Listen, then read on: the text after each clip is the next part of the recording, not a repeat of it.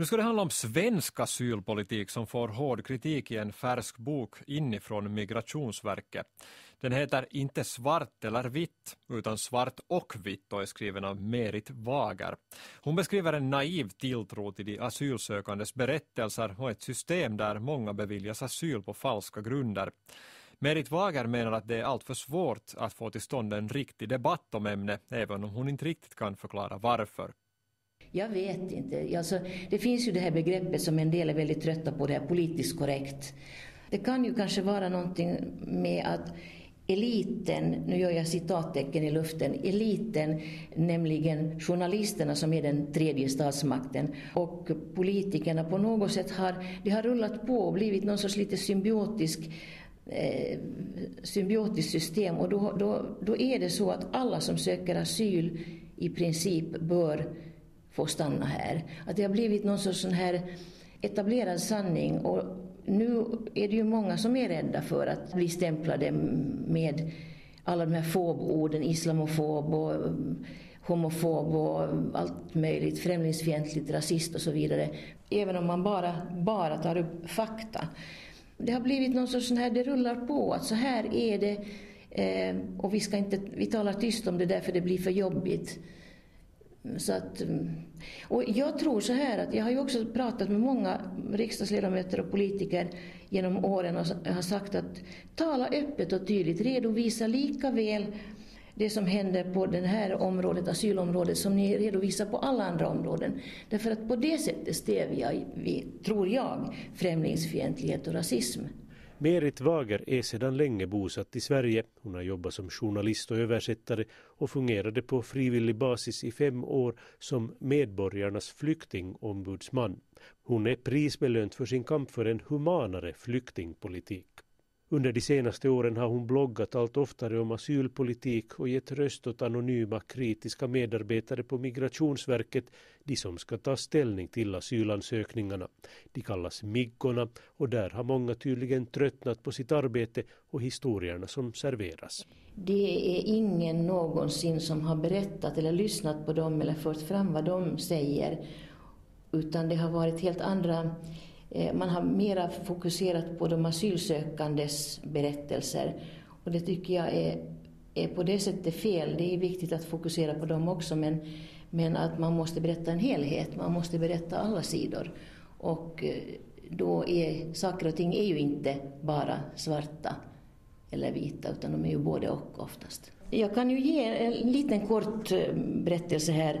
Det här är då ett avsnitt av ett samtal Eh, mellan en migrationsverksanställd, en MIGA, och en, en asylsökande. Och då frågar utredaren så här, varför kom du hit? Det var kaos i mitt land. Men hade det hänt dig någonting? Nej, det var bara kaos. Ja, du har fyra barn och en make. Var är de? Jag vet inte. Var och en tar hand om sig själv. Men ditt yngsta barn är ju bara två år. Ja, jag undrar om han lever. Vad kommer att hända om du får uppehållstillstånd? Då kommer jag att ta hit min familj. Men du vet ju inte var de är. Ja, men om jag får uppehållstillstånd då kommer jag att leta efter dem. Men varför letar du inte efter dem innan? Jag visste ju inte om jag skulle få uppehållstillstånd eller inte. Vad kommer det att förändra om du får tillstånd? Mycket. Min dotter kan gifta sig och min son också. De kan komma hit. Varför kunde de inte gifta sig innan? Vi hade inte råd. Har ni råd nu? Jo, jag har ju kommit till Sverige för att det är en demokrati och humanismen råder här och min dotter kan gifta sig och min son kan gifta sig här. Men vem ska betala det? Staten betalar, vi har lidit nog. Menar du det? Jo. Det är en kontroversiell bok med många berättelser på över 400 sidor. Den har inte ännu hunnit väcka så starka reaktioner. Berättelserna är kända också från Merit Wagers blogg. Men boken har redan recenserats och puffats på den invandrarkritiska webbsidan Avpixlat som står Sverigedemokraterna nära.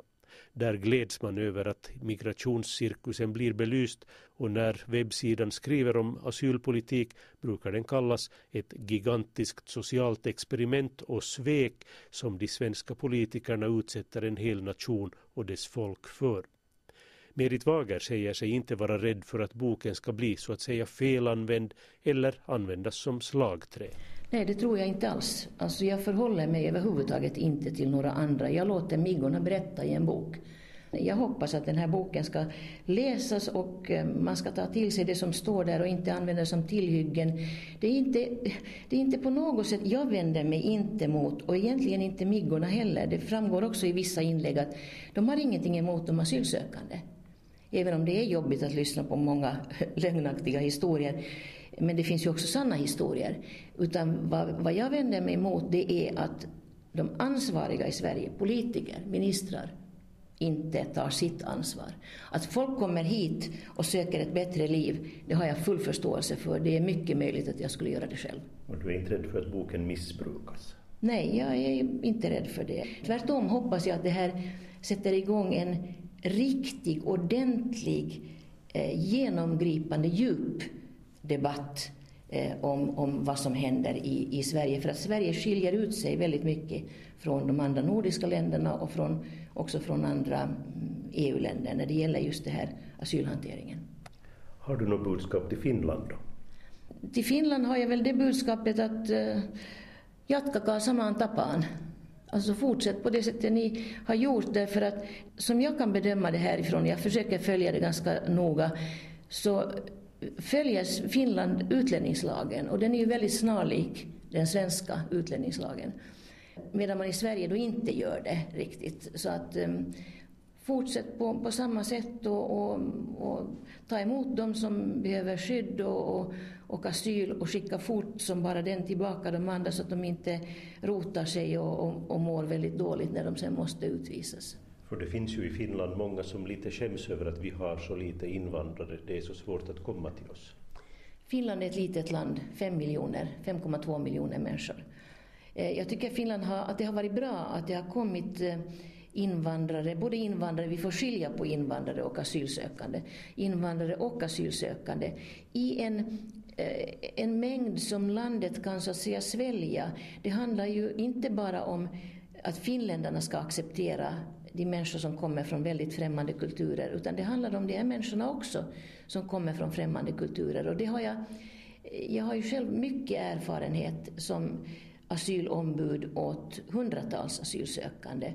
Och, och, jag vet hur svårt många av dem har haft och hur många år jag har haft kontakt med dem efteråt och, och, och svarat på frågor om hur skattesystemet fungerar och, och, vad som krävs här och lärt dem olika koder för att de ska komma in i samhället. Alltså det krävs ett engagemang och en, det går inte bara att bevilja uppehållstillstånd och sen fösa ihop folk så att de bor i Rosengård och Södertälje eller motsvarande i, i, i Finland och så lämnar de mer eller mindre åt sitt öde. Utan man måste... Alltså det, det är ju, Finland har ju inte heller... De har ju följt lagen och eh, det finns en stor skillnad också mellan Sverige och Finland så tillvida att i Sverige finns det så väldigt många asylsökande. Det har kommit så hemskt många. Och, och, ju fler som kommer, desto fler kommer. Det är den här som kallas för pull-effekten. Att um, man har redan vänner och bekanta här och släktingar och, som säger att men kom till Sverige, kom till Sverige. Det finns inte lika många i, i Finland och jag hoppas att Finland kan fortsätta på samma inslagna väg. Följ utlänningslagen, ta in de kvotflyktingar som man har förbundit sig att, att ta emot och ge dem stöd och ta in dem i det finska samhället. Det sa Merit Wager, aktuell med boken Inte svart eller vitt utan svart och vitt. Reporter i Stockholm var Bengt Östling.